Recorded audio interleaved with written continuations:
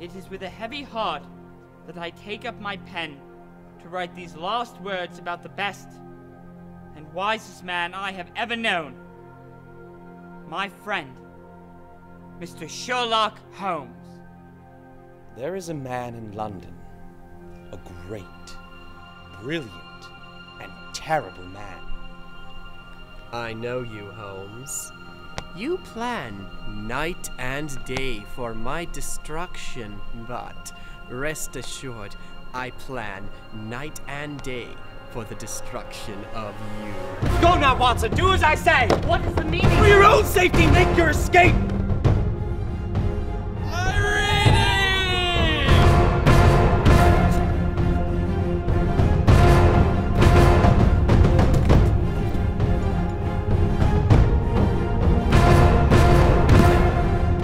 I've had it with that counting on this, and you're come to that!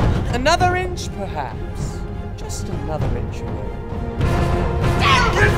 Was it necessary to snuff out the life she placed so willingly in your hand? Oh, oh. ah!